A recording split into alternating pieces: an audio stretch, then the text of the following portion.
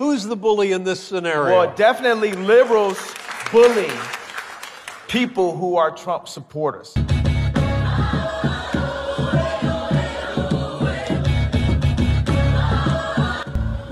said thank you, Kanye? What I want you to say is thank you, Jesus.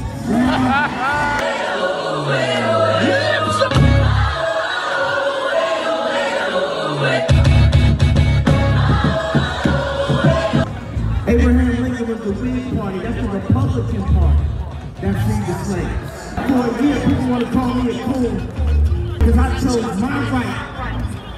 And it is, we got the right, right? We got our own right to our own opinions, right? Who I'm supposed to pick as the president.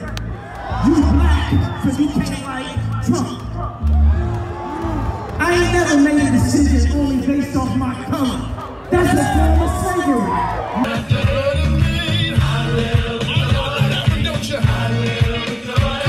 Try love, try love, try love. You see, they laughing at me. You heard them, they scream at me.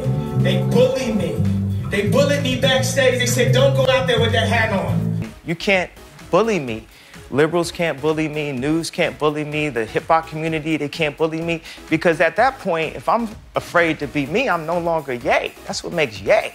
Well, how do you feel for the people that voted for him that are being treated like enemies of America because that's what they felt and they had that opportunity? The idea is the bullying. Who's the bully in this scenario? Well, definitely liberals bully people who are Trump supporters. You know, they tried to scare me to not wear this hat, my own friends, but this hat, it gives me it gives me power in a way.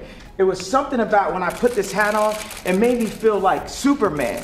Follow your heart and stop following your mind. That's how we're controlled. That's how we're programmed. If you want the world to move forward, try love. The main thing that I was stressing is the idea of trying love. You know, we're always pushing out so much hate, and love can cure so much. When I see people just even like go at the president, it's like, why not try love? Do not read comments on the internet. These people don't know you like that.